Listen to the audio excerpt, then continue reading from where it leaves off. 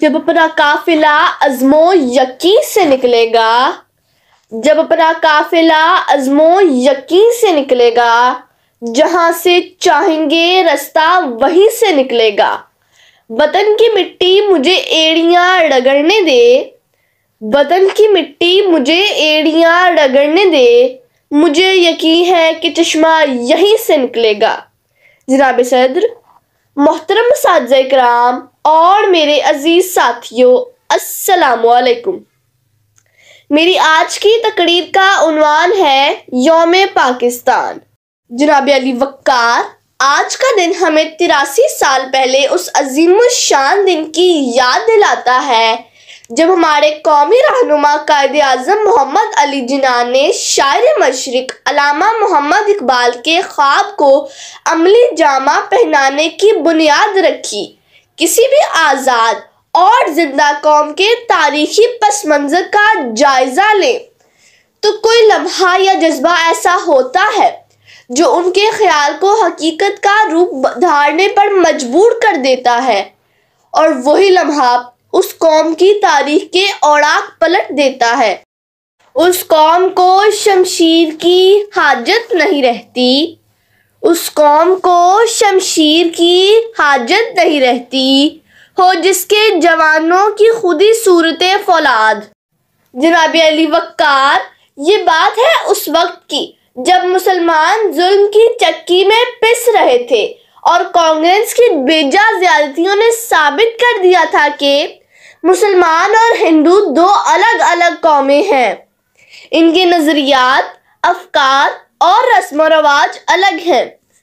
हिंदू कौम तासुब परस्त है। इन्होंने अपनी मक्कारियों से मुसलमानों को कांग्रेस के जाल में फंसा रखा था।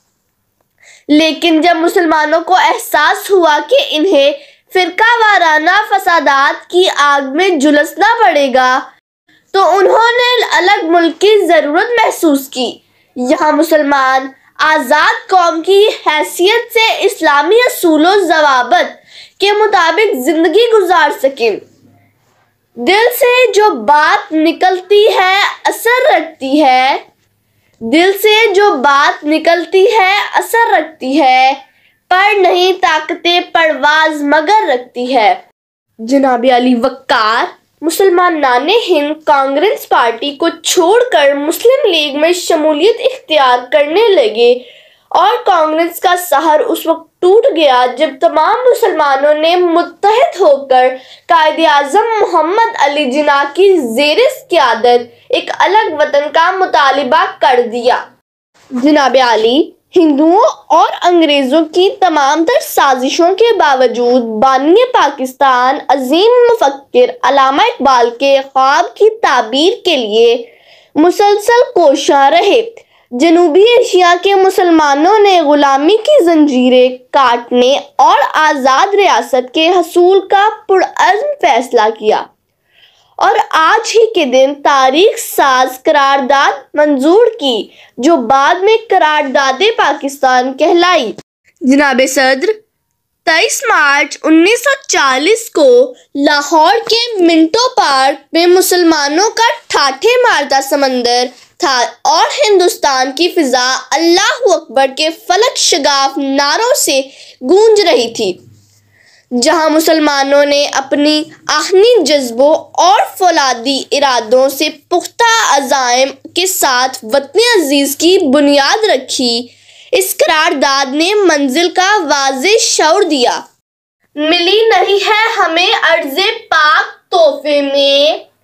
मिली नहीं है हमें अर्ज़ पाक तोहफे में। जो लाखों दीप बुझे हैं तो ये चराग जला।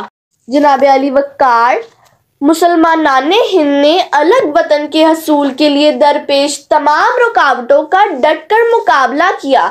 खून के कतरे गिरे, जामे सफाक पिया और ना जाने क्या कुछ आज़ादी के लिए नज़र किया।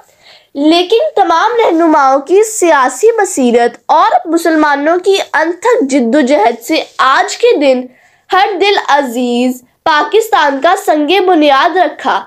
और सिर्फ़ सात साल बाद 14 अगस्त उन्नीस को इस्लामी जमहूरिया पाकिस्तान दुनिया के नक्शे पर उभरा और मुसलमानों की बेशुमार कुर्बानियों ने साबित कर दिया कि अफराद के हाथों में है अकवाम की तकदीर, अफराद के हाथों में है अकवाम की तकदीर, हर फर्द है मिल्लत के मुकद्दर का सितारा। जनाब आली किसी भी घर से पूछो, घर की कीमत और किसी गुलाम से पूछो, आज़ादी की अहमियत। तो फिर एहसास होगा, जिस पाक सरजमीन पर हम रह रहे हैं, ये रब कायनात की अजीम नेमत है। खुदा करे कि मेरी अर्जे पाक पे उतरे। खुदा करे कि मेरी अर्जे पाक पे उतरे। वो फसले गुल जिसे अंदेशा जवाल न हो। जनाब सद्र हमें अपने माजी पर गहरी नज़र डालते हुए अपने हाल और मुस्तकबिल के बारे में सोचना होगा।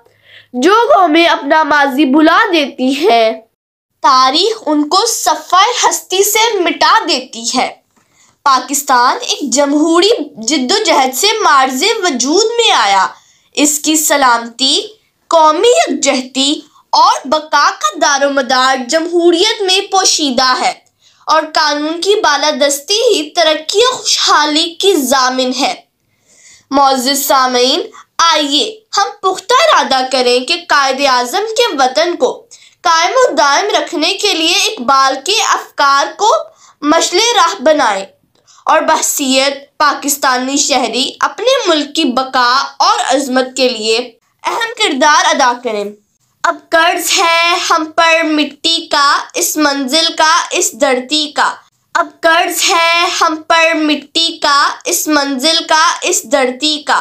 तकदीर करें, तदबीर करें, आओ वतन तामीर करें। शुक्रिया।